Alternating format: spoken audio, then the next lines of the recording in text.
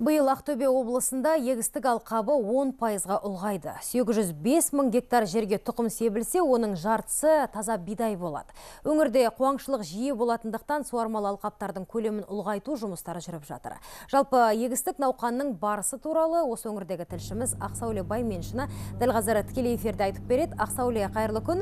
Диқандарға мемлекет тарапынан қандай жеңілдіктер жасалды? Қайырлы күн жансая. Я жылдағыдай шаруаларға біраз жеңілдік жасалды. Мысалға өңірге 9 мың тоннадай жанар жағармай арзандатылған бағамен берілді. Оның литрі 169 теңгеден.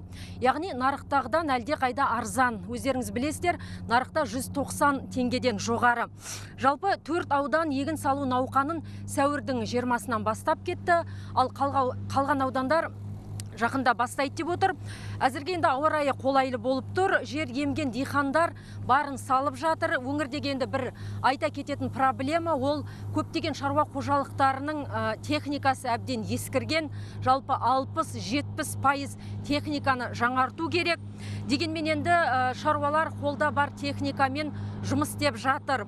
Жалпы осы науқанның барысы туралы ауыл шаруашылығы маманының өз аузынан естейік гектардай дән дақылдар екі жүз алпыс мың гектардай мал дақылдар елу мың гектардай майлы дақылдар және көкөніс бақша дақылдары барлығы он екі мың гектардай болады. Қазіргі кезде тәжірибеге сәйкес бізде жаңағы хабда темір мұғалжар ойыл аудандары жұмысқа кірісті. Бүгін біз міне мартөк ауданында көріп отырғандай мартөк ауданында кірісу бастап жатыр енді жалпы жалпы жаппай егіс жұмыстары біз ойлап отырмыз. Міне осы мамыр айын бес алтысынан бастап жаппай кіріседі қазір ауа райы қалай жақсы болады сол кезден басталады. Қазір енді күн өзіңіз көріп тұрсыз самалап салқындап болып тұр бірақ дегенмен бұл күн де жаман емес себебі ылғалдың бәрін сақтап тұрды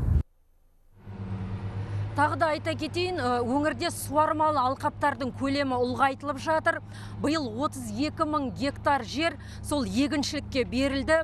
Жалпы болашақта облыс көлеміндегі су қоймаларын ретке келтіріп, оларды жөндеп, осы суармалы жерлердің көлемін 100 мың гектарға жеткізу жоспарда тұр. Жансая әзірге мендегі бар ақпарат осы. Тұшымды ақпаратыңызға рахмет Ақсауле. Естеріңізге сала кетейік. Дәл қазір бізбен тікелей байланыста болған Ақсауле Байменшіні Ақтөбе.